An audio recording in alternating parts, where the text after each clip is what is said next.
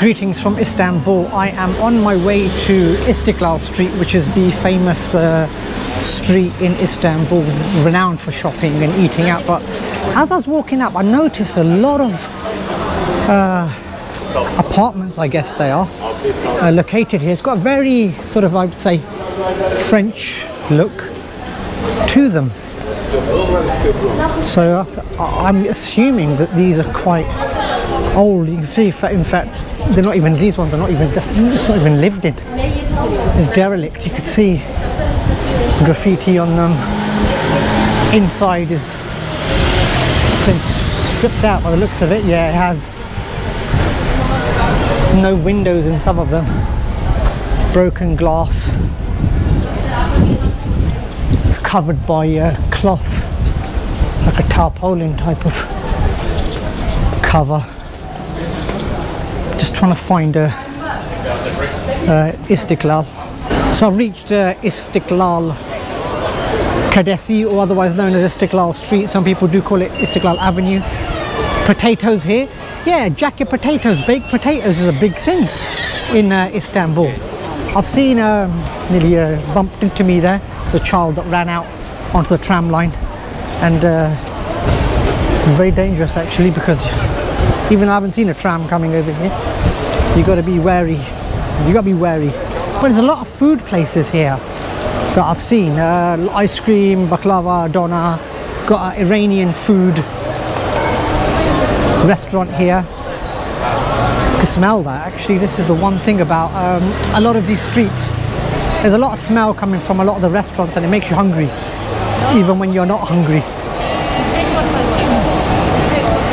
There's a tip here for you. There's a Turkcell store here, actually.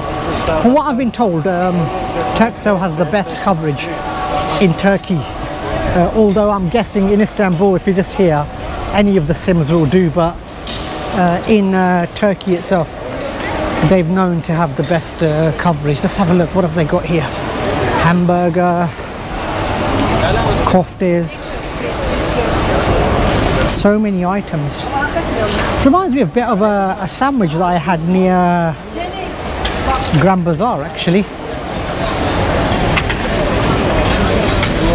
Ice cream place a bit further on. I wonder if they do the ice cream scam.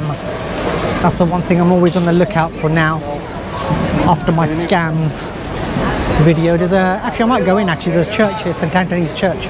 But here they are, the ice cream guys. Look at that moustache. I like that moustache. It's a very famous, very big moustache. Do you want? St Anthony's uh, Church here as well. Actually, let's go inside. This is quite um, famous in Istanbul.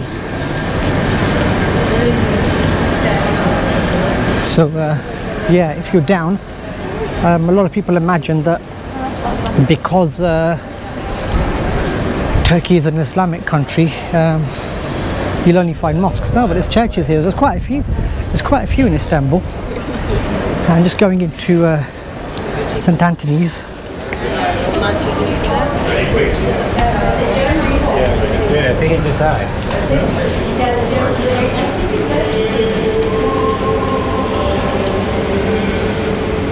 It's a phenomenal structure. Again, last time I was in a church was uh, St Patrick's Cathedral in New York.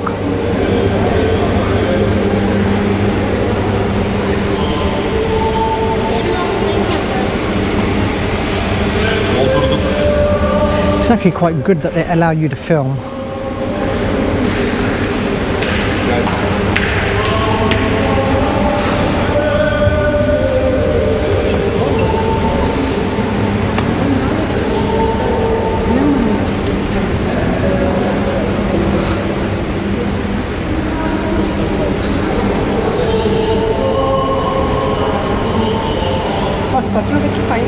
The glass is not as elaborate as some of the uh, churches and cathedrals that I've seen, uh, but it's impressive nonetheless.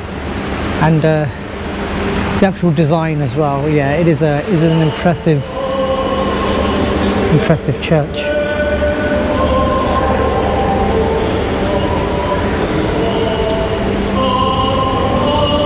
Yeah, so that's, uh, I'm just walking along. I had read about uh, St. Anthony's Church and uh, it's just by chance that I was uh, walking alongside, so I thought I'd visit. And uh, I was trying to speak quite um, quietly inside, but actually, it's quite uh, it's quite a nice church, to be honest. Uh, it's well maintained. It's uh, it's got an impressive structure. The, the internal dimensions actually quite they're quite nice because it's not as big as some of the churches that I've seen, churches and cathedrals that I've seen, but um, nonetheless, it's uh, it's well maintained, well looked after. That's the one thing that I found found out about you know when visiting, particularly the mosques here as well. Uh, it's uh, they are maintained, a lot of work going on, and uh, it's nice to see. Got Esma Chef over here. I went to an Esma Chef, and quite close to my hotel, and uh, they'll have the same food, I guess. But I don't want to eat there. I've already eaten there. So let's have a look at what else we've got. I could do with something, but I'm not sure what. I might get something uh, something light. Got a few more restaurants up this way. Baklava over here. Just walking by, I've noticed some uh, here. These ones, and I'm thinking of getting one because it'll just keep me um, keep me going. Yeah, just one of these, please.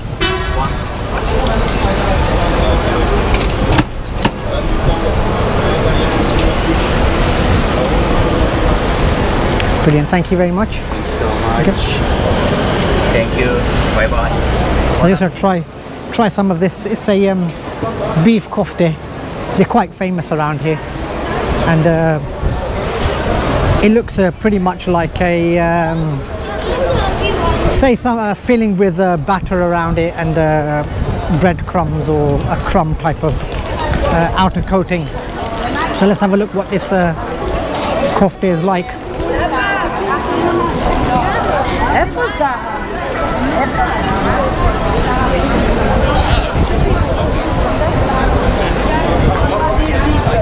Hmm.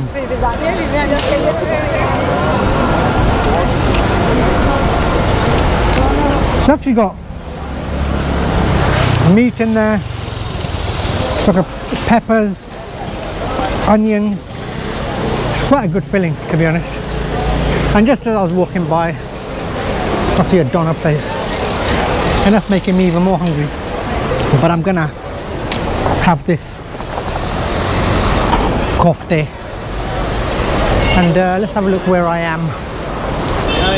I've actually got a lot of exploring on this street to do, but this is actually quite nice.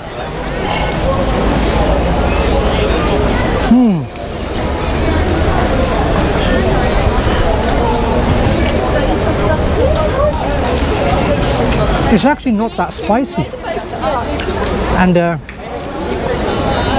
but there's a lot of flavour in here.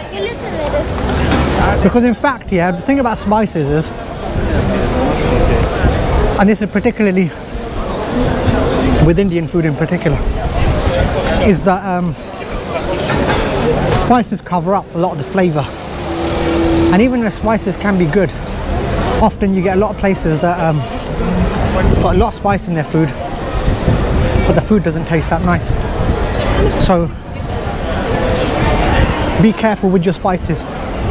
Spices are good, but if it's going to mask what the flavour is or if they're going to try and fudge what they're making uh, all you're tasting are spices but this is actually this is actually very nice you can taste the peppers in here you can taste the onions I think there's coriander in here as well I can, I can sense that and it's a good little snack to have it's every time I see an ice cream cone now I get suspicious but uh, let me finish this uh, kofte off and we'll carry on exploring, navigating our way through Istiklal Caddesi. It's getting towards that time where I need some food as well. And uh, There's actually loads of places around here. There's one here, patatas, potatoes. It's got jacket potatoes. Ah, doner as well, my favourite. It looks like beef doner there, chicken doner there. Actually, I think I'll go in here. They've got a pretty extensive menu. Uh, jacket potatoes and uh, doners as well. So let's see what they've got in here. Let me have a bit of an explore and see what they have.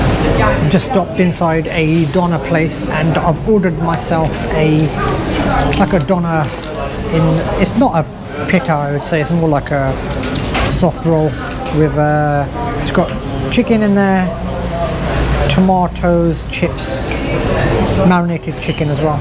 So no sauces. That's the one thing about um, Turkey that you'll find different from um, the UK in particular, which is what I'll compare it against because I'm not exactly a kebab aficionado in uh, other countries, is that they don't really put sauces in these, and to be honest, they don't need them. The meat is flavoured so much that you don't need to put sauces in there. So it's you know it's credit to their cooking actually their cuisine that they're not um, having to mask the flavour because um, it's phenomenal food that they're producing here and even the most basic of places that I've been to here uh, their doners are fantastic. So um, I'm going to tuck into this uh, this doner this chicken doner and it only cost uh, 25 lira as well. So that's only just over a pound. So a pound for this I mean you'd never get that in the UK uh, so I'm going to tuck into this because um, it just needs tucking into before it gets cold.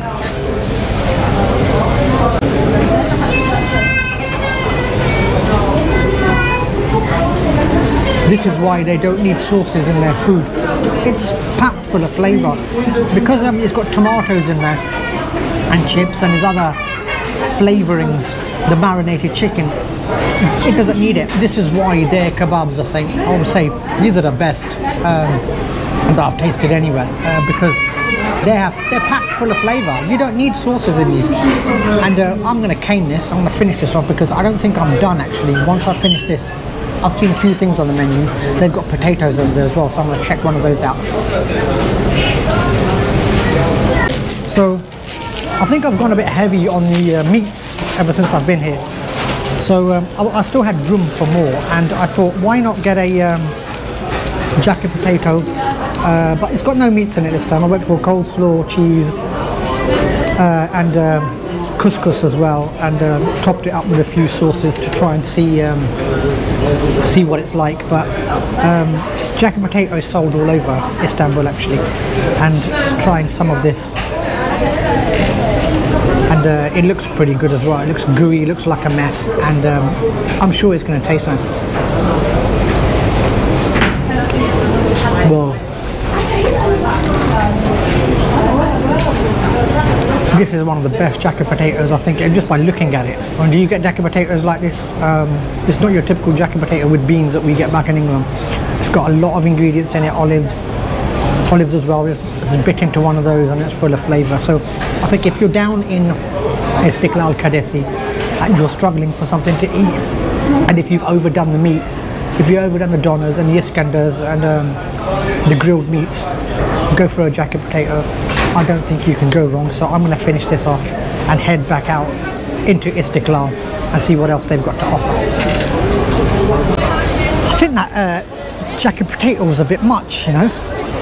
I feel shattered. I feel like going to sleep somewhere in a corner. And it's hot as well. Got the shade over here. But I think I overdid it. I think that chicken kebab was alright. And then uh, the jacket potato, I didn't really need that. But I got a bit greedy inside there.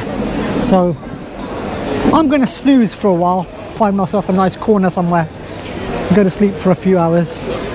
And I'm uh, in the Istiklal Caddesi and it's been an enjoyable time here venturing through this famous street and I'm gonna like I said I'm gonna find myself a corner so until the next time it's goodbye